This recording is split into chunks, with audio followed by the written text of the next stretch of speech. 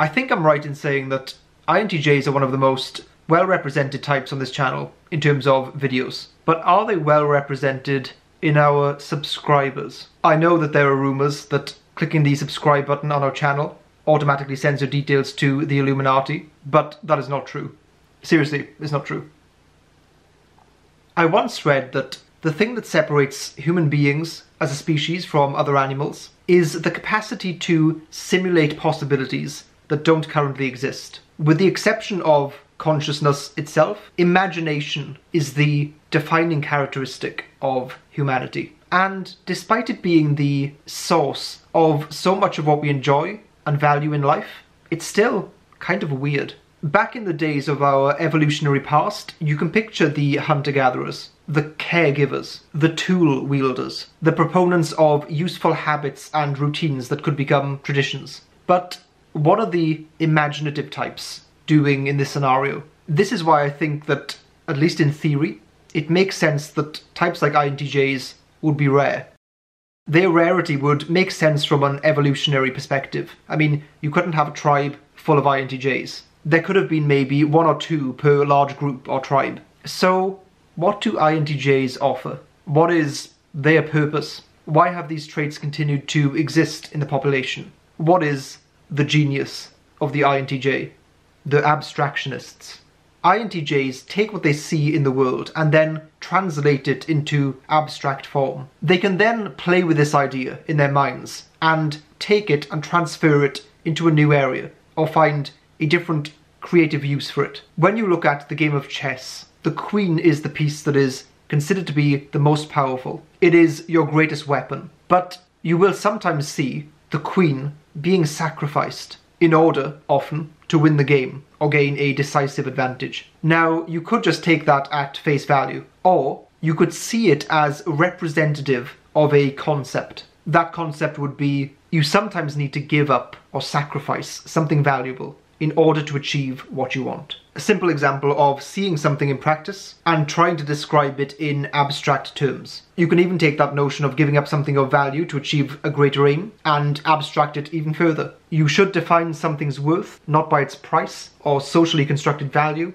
but according to how useful it is to reach your aim. You have bishops and you have knights, and knights are considered to be weaker pieces than bishops. However, in the game of chess, there are different types of positions you can see on the board. So-called open positions and also closed or fixed positions. In a closed position, suddenly the knights become infinitely more powerful. The bishops become restricted and the knight's unusual movement becomes a huge strategic advantage. Again, what concepts could you take from that? You might say that something of someone's power is not an objective thing, but can only be measured relative to the position it finds itself in. You might choose to abstract some kind of life lesson from it or life strategy. You could say, let me assess what pieces I have, what skills, what attributes, what assets, and then try and change the board. The board in this case might represent the place you work or the place you live or your environment in general. And how can I change the board to better suit the pieces I have? How can I maneuver things around me or myself into a position where my attributes are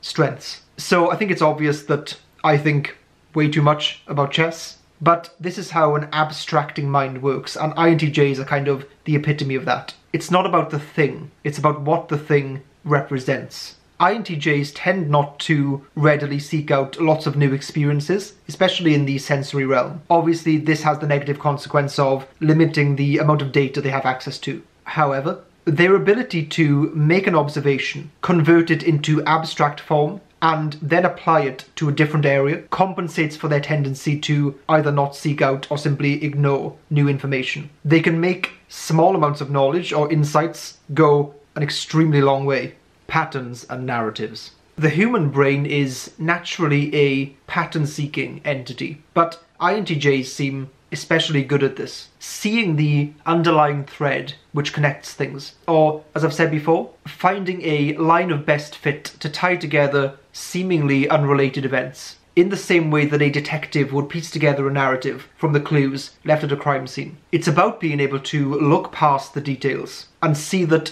things of apparent uniqueness are actually different manifestations of the same concept in practice. You can see this a lot in storytelling. Many people have speculated, rightly or wrongly, that there are only a fairly small number of types of stories, and that despite all the different characters, details, and fantasy worlds, at their heart, they can be reduced or condensed into these principles. That is the power of introverted intuition to narrow in on the most crystallized and concise essence of a thing. But INTJs are not simply abstract thinkers, they're actually doers as well, to manifest the abstract in reality. Yes, they plan, they analyze, they strategize, but they do take action. In fact, they feel beholden or obligated to the visions they have. To imagine something that does not exist, then bring it out of their minds from this intangible form into something physical. The present is theirs.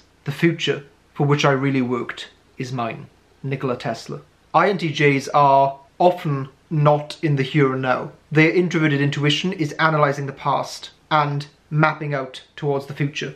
It does this in two ways. One is to try and predict where things are going, then the other is thinking about what ought to happen, what would be good to happen, and then how can they make it happen. What I think that a lot of INTJ stereotypes miss, stereotypes which are perpetuated often by people on YouTube, is that they don't have to be huge, grand plans or visions. These things can be day to day. There's nothing inherent about introverted intuition that wants to revolutionize the world or push the human race forward, although I don't think INTJs would object to either of those things. It describes a way of existing that conceptualizes things, abstracts things, imagines, and then takes action. INTJs don't want to take quick action and figure it out as they go, even though if they have to, they will. Unlike other types who might want to be kept on their toes or constantly surprised, INTJs have absolutely no problem with a plan turning out exactly as anticipated. In fact,